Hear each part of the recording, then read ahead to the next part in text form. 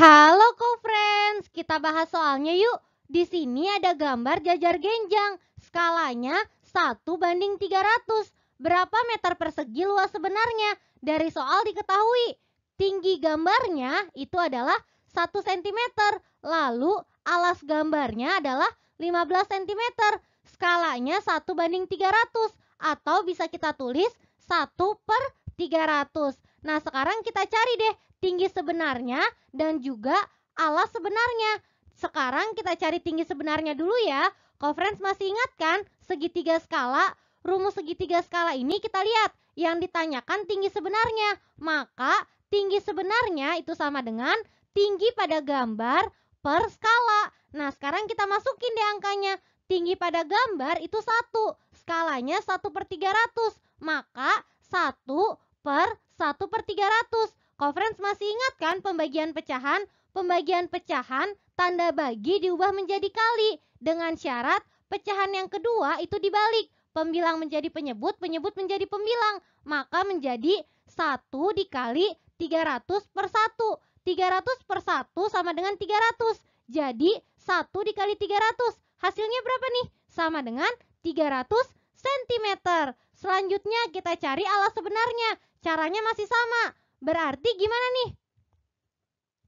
Alas sebenarnya sama dengan alas pada gambar per skala.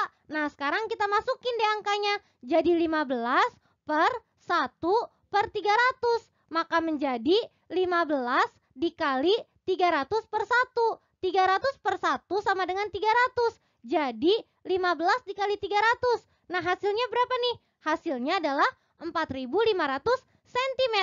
Nah, co-friends, bisa hitung sendiri di rumah ya.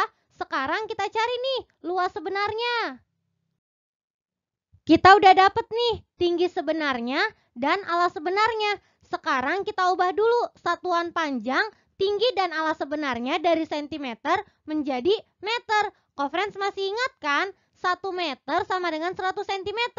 Dari cm diubah menjadi meter, itu berarti dibagi. Maka 300 cm sama dengan 300 dibagi 100. Hasilnya berapa nih? Sama dengan 3 meter. Conference bisa hitung sendiri di rumah ya. Nah, selanjutnya yang alas sebenarnya. Alas sebenarnya 4500 cm. Maka caranya masih sama. Jadi 4500 dibagi 100. Hasilnya adalah 45 meter. Conference masih ingat kan? Luas jajar genjang rumusnya apa? Rumus luas jajar genjang itu adalah alas dikali tinggi. Berarti kita cari deh luas sebenarnya. Luas sama dengan alas sebenarnya dikali tinggi sebenarnya. Kita masukkan nih angkanya. Alas sebenarnya 45 meter, lalu tinggi sebenarnya 3 meter. Jadi 45 meter dikali 3 meter.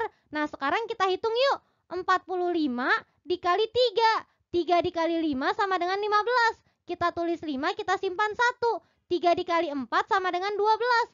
12 ditambah 1 sama dengan 13. Berarti hasilnya 135. Kita tulis deh sama dengan 135 meter persegi. Berarti luas sebenarnya adalah 135 meter persegi. Selesai deh sampai sini. Gampang kan soalnya? Tetap semangat belajarnya kok friends.